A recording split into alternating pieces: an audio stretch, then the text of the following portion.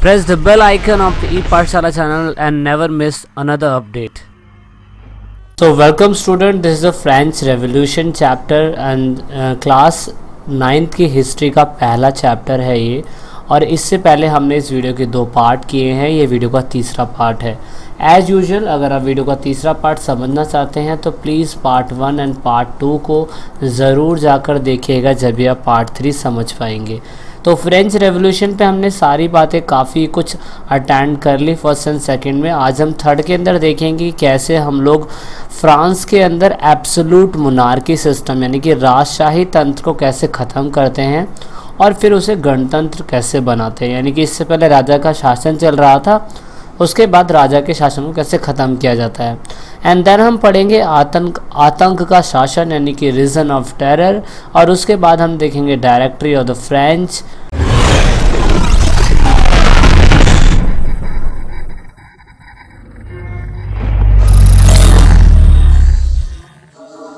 तो ये जो टॉपिक हैं आज हमारे पास बने रहेंगे।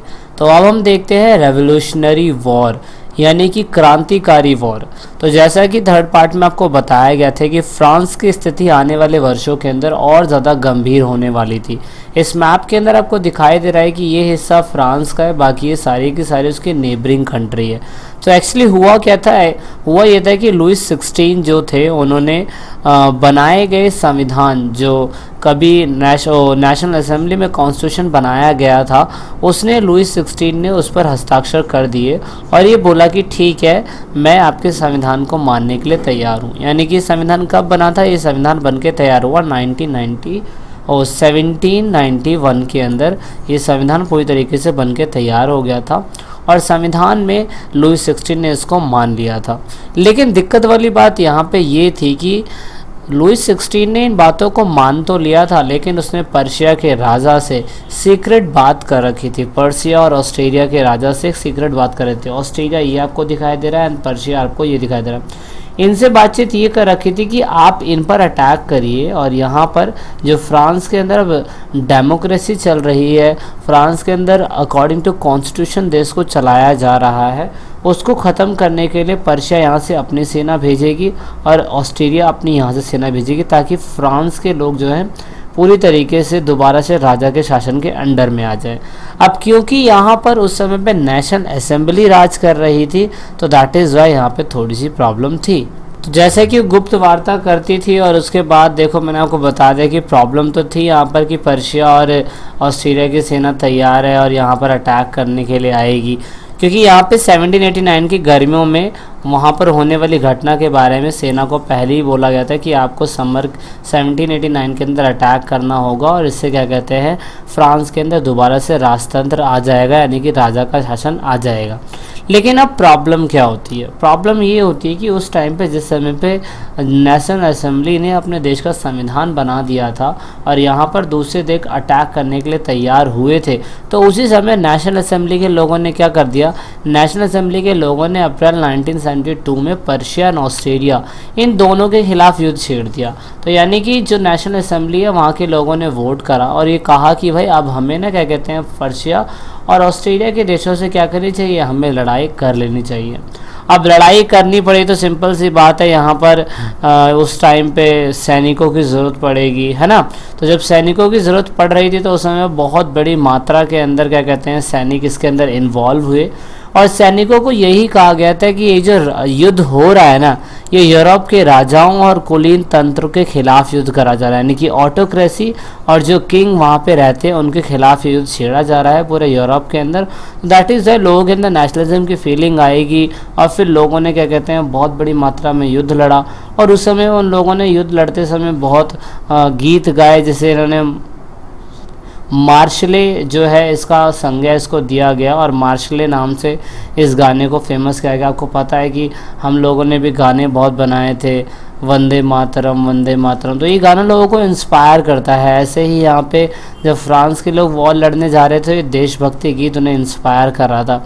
एक्चुअली इस गीत देशभक्ति गीत की भी एक इंटरेस्टिंग कहानी है।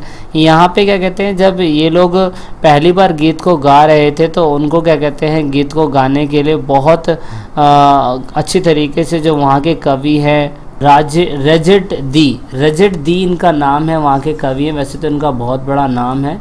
तो नाम कैसा है? रेजेट दी शॉर्ट में किताबों के अंदर लिखा हो, बाकी ये पूरा नाम है, उनका आप देख सकते हैं। इन्होंने सॉन्ग को कंपोज किया था और सबसे पहले यहाँ की जो पेरिस की जो क्या कहते हैं, सेना थी, उन्होंने मार्शले के अंदर इस गाने को गाया था। दैट इज़ वाई मार्शले ही इसका नाम पड़ गया। और मार्शलेज अब फ्रांस का एक राष्ट्रीय गान है। क्यों? क्योंकि उस समय जिस समय युद्ध लड़ा गया था, वहाँ के लोकल लोगों ने इस गाने को गाया। और गाने को जब युद्ध जीत गए थे उन लोगों ने संगीत करा, समारोह रचा और ये गाना बहुत फ़ेमस हुआ दैट इज़ वाई फ्रांस के लोग वहाँ पे युद्ध जीत गए। और युद्ध जीतने के बाद ना अब आएगी दिक्कत। अब यहाँ पे rise of new revolutionary ideas क्योंकि अब राजा का शासन तो ख़त्म होने वाला है। अब क्रांतिकारी युद्ध के अंदर जब युद्ध हो रहे थे, जब ऑस्ट्रेलिया और पर्शिया हमारे फ्रांस के ऊपर अटैक करने जा रही थी तो बेचारी जो जनता थी, उसमें पुरुष लोग जो थे, वो युद्ध के अंदर जा रहे थे। लेकिन जो वुमेंस थी वुमेंस को बेचारों को घर का काम करना पड़ा था। रोजी रोटी है, घर की ज़िम्मेदारी है, बच्चों की ज़िम्मेदारी है। इन सभी काम काम के लिए क्या कहते हैं, उस समय पे वहाँ की वुमेन जो थी, उनको ही बेचारों कठिनाइयों का सामना करना पड़ रहा था। और सबसे बुरी बात तो ये थी कि उस समय पे जब 1791 के अंदर संविधान बना था तो उस समय कोई भी पॉलिटिकल राइट्स ना, उस समय वुमेंस को नहीं दिया गया था। यहाँ पर सिर्फ़ और सिर्फ़ जो उस समय पे बड़े बड़े घरानों के लोग हुआ करते थे, यानी कि राजनीतिक क्लब के लोग हुआ करते थे, सिर्फ़ वही क्या कहते हैं, उस समय सरकारी नीतियों को जानते थे और योजना बनाने में उस समय पर काम किया करते थे। यानी कि नेशनल असम्बली जो बनी थी ना, वहाँ पर अमीर वर्ग जो थे वो ज़्यादा थे। और यहाँ पर क्या कहते हैं, इन क्लबों के अंदर जैकोबिन क्लब जो था, सबसे अच्छा क्लब माना जाता था।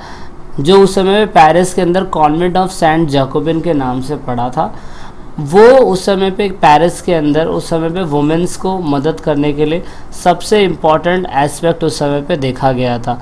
यानी कि जिस समय वो मेंस युद्ध के लिए गए थे वुमेंस को घर का काम करना पड़ता था और इवन उनको कोई पॉलिटिकल राइट्स भी नहीं थे।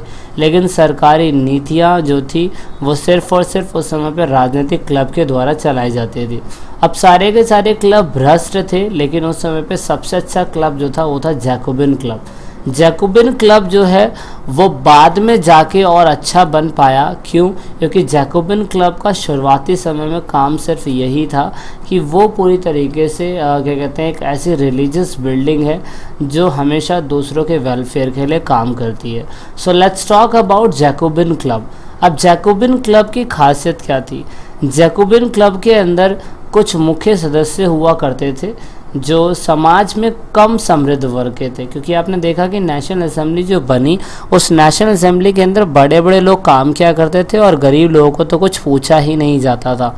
लेकिन अब यहाँ पे जो बेचारे छोटे दुकानदार, कारीगर शू मेकर है ना, और उसके बाद ये वॉच मेकर है पेंटर है, बहुत सारे ऐसे लोग जो क्या कहते हैं, बहुत कम दैनिक जीवन बिताने वाले जिनको लो वेजेस मिलती है, वो सारे के सारे लोग उस समय पे थे और यहाँ पे मैक्सिमिलियन रॉबिस्फेयर जो था वो जैकोबिन क्लब का हेड था।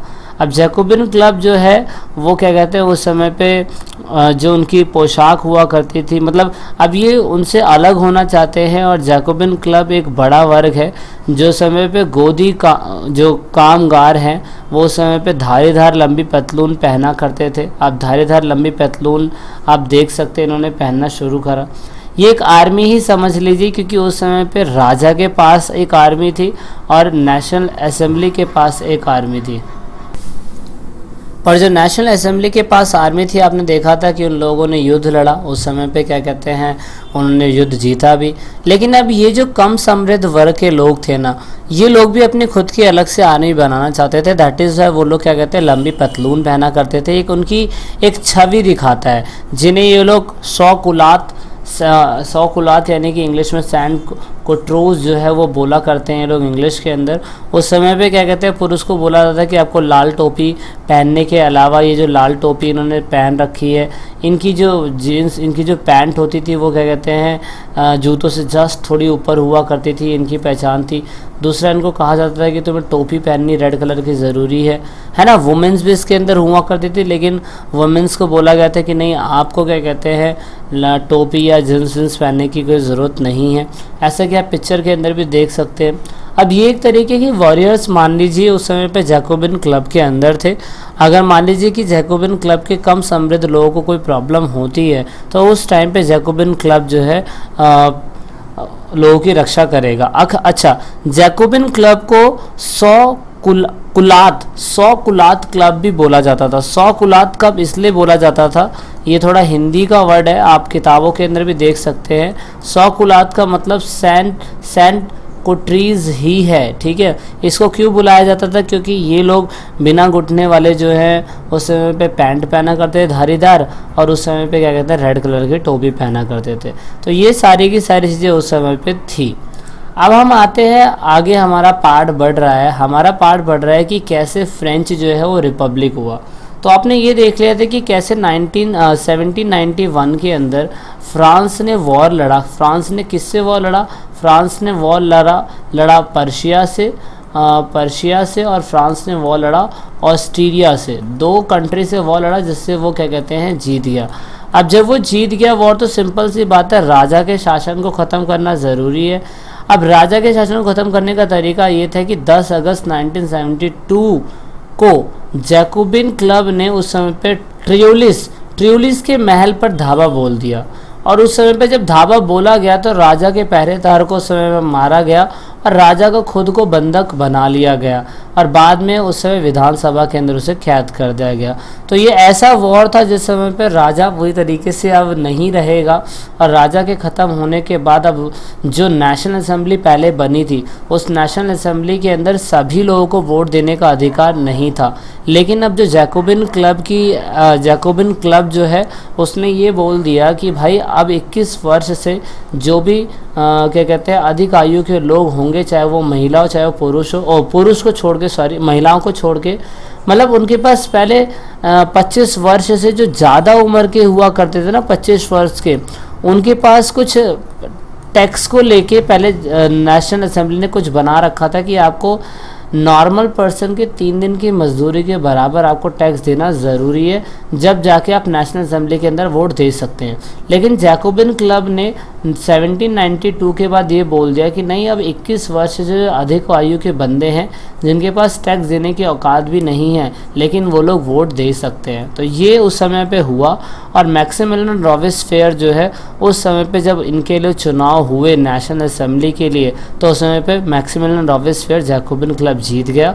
और जैकोबिन क्लब ने पूरी तरीके से अगस्त सितंबर, अगस्त का अगला महीना आता सितंबर सितंबर ट्वेंटी सेवन 21 सितंबर 1792 के दिन असेंबली के अंदर राजशाही को ख़त्म कर दिया और फ्रांस को उस समय पे मैक्सिमिलियन रॉबेसफेयर के तहत गणतंत्र घोषित कर दिया गया और असेंबली का नाम बदलकर नेशनल कन्वेंशन रखा गया। तो आप देख सकते हैं कि कैसे नेशनल असेंबली बनी थी और आम जनता के प्रति वो सही तरीके से काम नहीं कर रही थी। और एक क्लब ने कैसे आया और एक क्लब जीतने के बाद उसने क्या कहते हैं, कैसे अटैक करा और अटैक करने के बाद कैसे फिर उसने इलेक्शन जीते और उसने 21 वर्ष से कम आयु के लोगों को भी 21 वर्ष से अधिक आयु के लोगों को भी कहा कि अब आप वोट डाल सकते हैं। तो अब जब मैक्सिमिलियन रॉबिस फेयर आया तो उस समय पे आप देख सकते हैं कि जैसे ही वो आया तो उसने सबसे पहले क्या करा? उसने लुइस लुइस सिक्सटीन को देशद्रोह के आरोप में आ, क्या कहते हैं मौत की सज़ा सुनाई। तो 21 जनवरी 1790 1793 के दिन उसने प्लेस डे ला। ऐसी एक जगह है जहाँ पर सार्वजनिक प्लेस पे उसे मार दिया गया मतलब उसका गला कटवा दिया गया ग्लोटीन से। और बाद में मैरी एंटो एंटोनेट के साथ मैरी एंटोनेट के साथ भी बाद में यही करा गया और उनको 1794 के अंदर उनको भी, क्या कहते हैं एनेक्स्ट यानी कि ग्लोटिन से उन्हें उनका गला कटवा दिया गया। तो ये था कैसे मैक्सिमिलियन रॉबिस्फेयर आया। अब आते हैं हम रॉबिस्फेयर की स्टेट पॉलिसी को लेके। जब रॉबिस्फेयर की सरकार आई तो उसने काम क्या करा?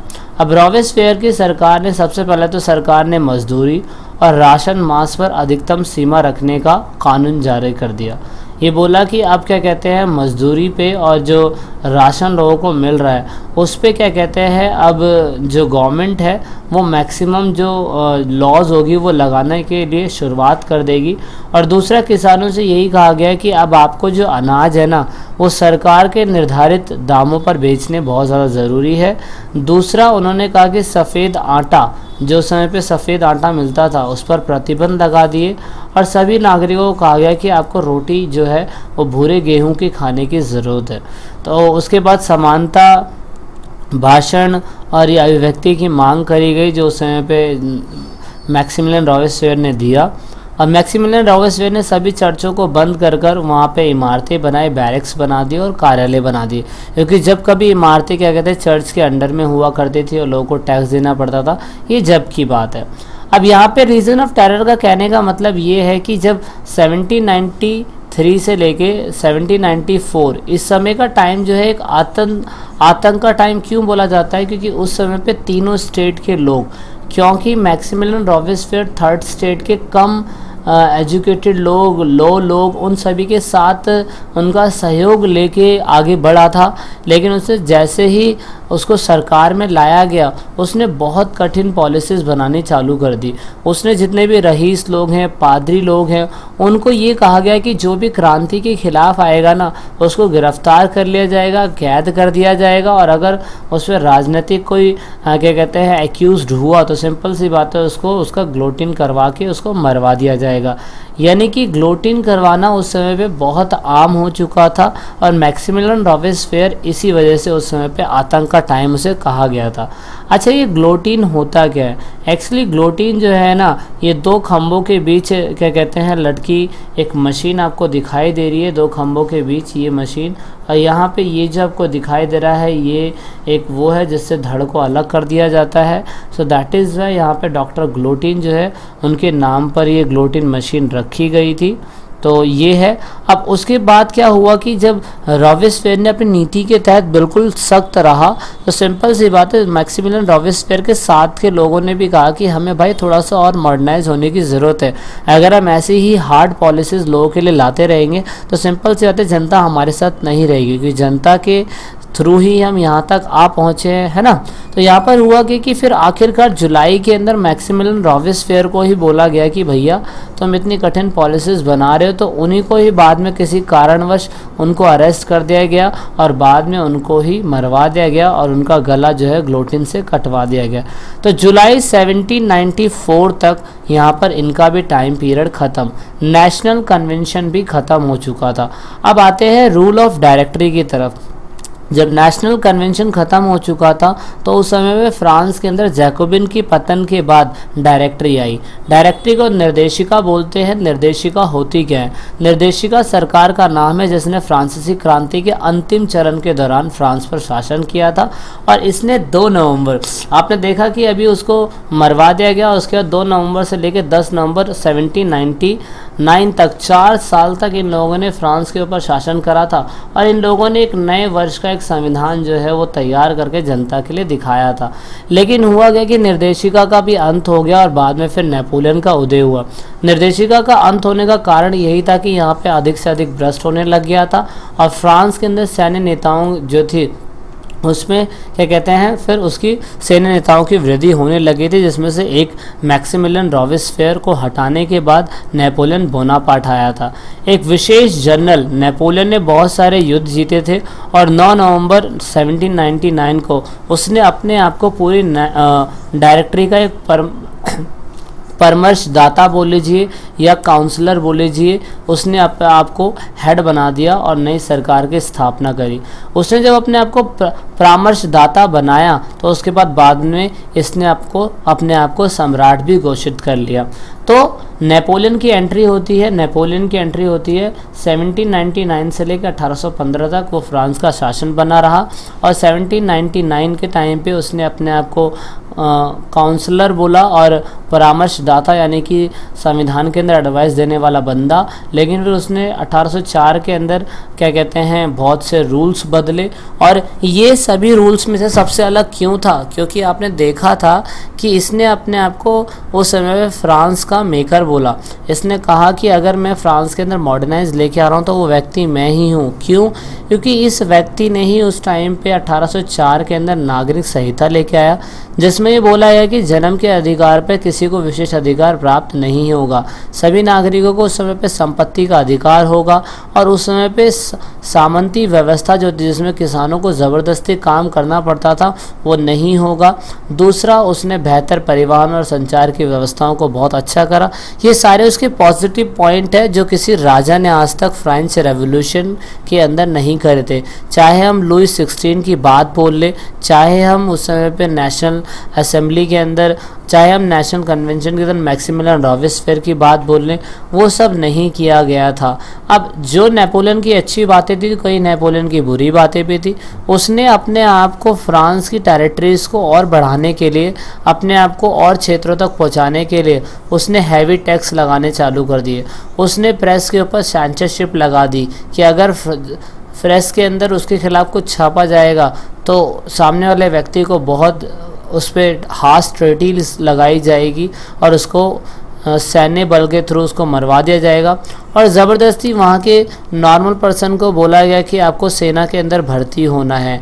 दूसरा इसने स्लेव जो कभी ख़त्म कर दी गई थी नेशनल असेंबली के थ्रू स्लेवरी सिस्टम इसे बोलते हैं उस सिस्टम को मैक्सिम नेपोलियन बोनापार्ट ने दोबारा से री इंट्रोड्यूस कर दिया। तो वो बहुत आ, बड़ी बात है उसने रीडू कर दिया यानी कि दोबारा से स्टार्ट कर दिया उसे।